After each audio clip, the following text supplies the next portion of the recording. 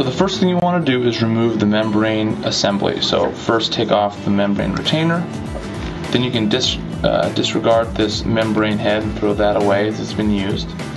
And the last thing you want to do is remove the O-ring. It can be a little difficult with your bare hands, so I like to use a real small screwdriver and gently pry it off the, the cathode. And this can also be disregarded. Next you want to remove the fill plug and you want to check to make sure there's an adequate amount of pipe tape still remaining on the fill plug. Here I see there's still a good amount so I don't need to replace it. If there's not enough, you want to wrap it. You want to first remove the excess pipe tape and then place about one to two wraps of pipe tape around the fill plug. No more than two. Then you want to dump out the excess amount of electrolyte solution that's still in the sensor. Then you need to inspect the cathode.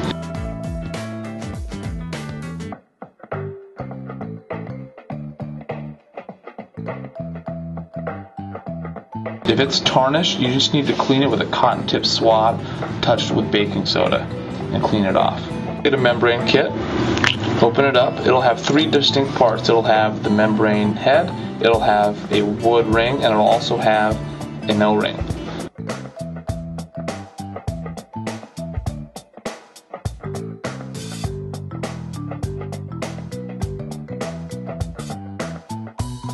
What you want to do is place the wood ring into the membrane assembly and then fill it up with your electrolyte solution. So put it cup facing up, fill, fill the solution all the way to the brim and you're going to then want to set it aside and let the wood ring absorb the electrolyte solution. So while the wood ring is absorbing the electrolyte solution, we pour the electrolyte solution into the sensor and we go all the way to overflow.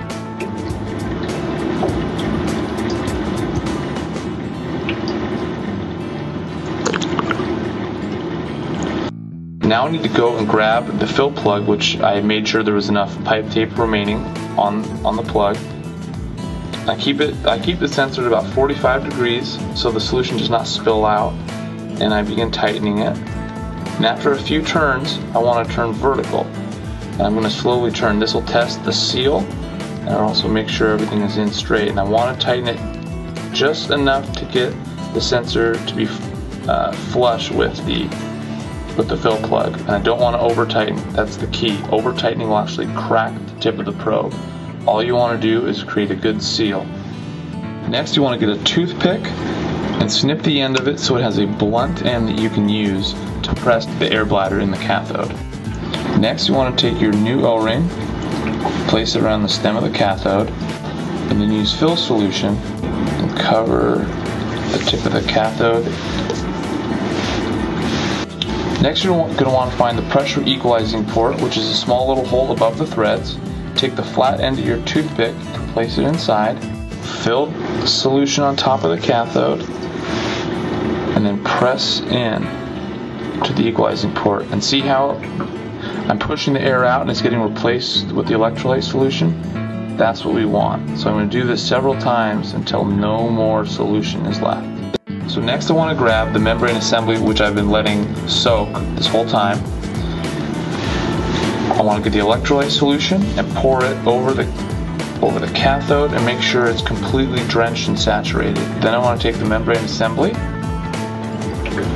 place it on top, and then get the membrane retainer and screw it on snug.